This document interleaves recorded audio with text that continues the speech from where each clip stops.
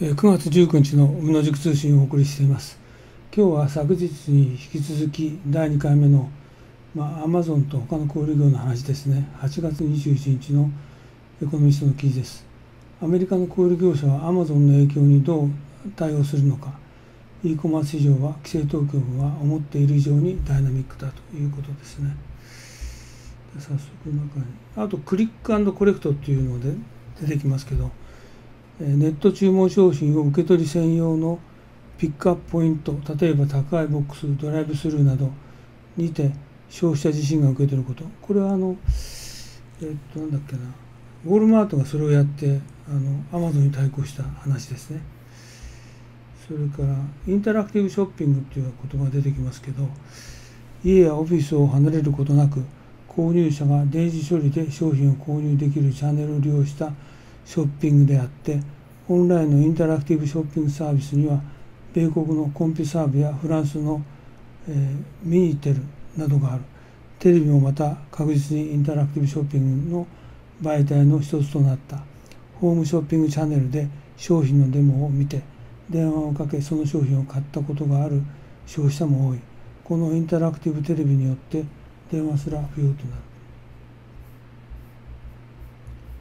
えーと、それでは早速中に入りますね。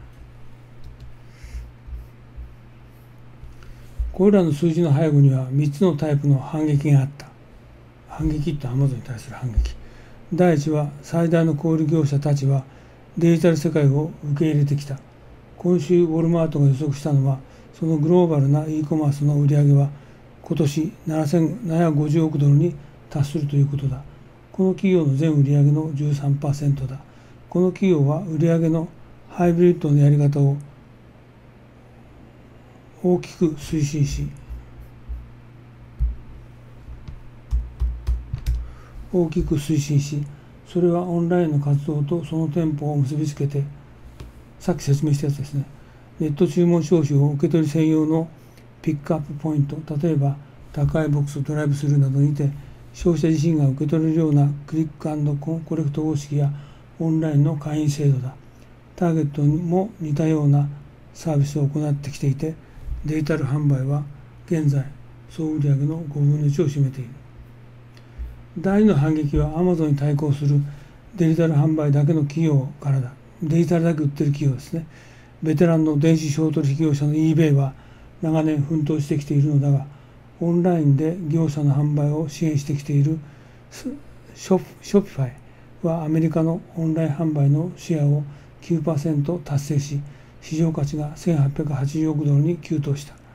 多くの他のデジタル企業は儲かるニッチ分野で営業していて日用雑貨販売のインスタインスタカートから手作りの商品のインタラクティブショッピングを行っているエティシーって読むんですかね。ETSY などだ。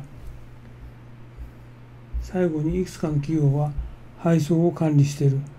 ナイキは2019年に Amazon での直接販売をやめて、その代わりに自分のプラットフォームで販売することにした。デジタル販売は今年の5月までで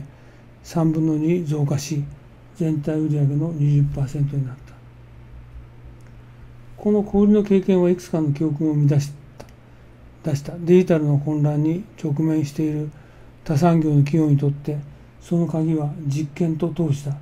ウォルマートがうまくいくまではおびただしい失敗を経験し資本投資を40%も増加させた。反トラスト4の規制当局者はより最新の情報を入手する必要がある。当局は慌ててビッグテックを規制しようとしているが e コマース市場は彼らが認識している以上にダイナミックだという山ほどの証拠がある。だからあの要するにアマゾンだけじゃなくていろんな企業が混戦しているのでその下手に政府の規制当局者が手に入れると産業を混乱させるという意味ですね。この世の終わりは避けられた。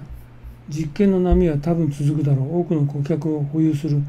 電子決済とソーシャルメディア企業は e コマースにビジネスを拡大し小売業者はオンラインによる宣伝と顧客のもてなしへとシフトしている。アメリカの疲れを知らない消費者にとってそしてそこで働く労働者にとって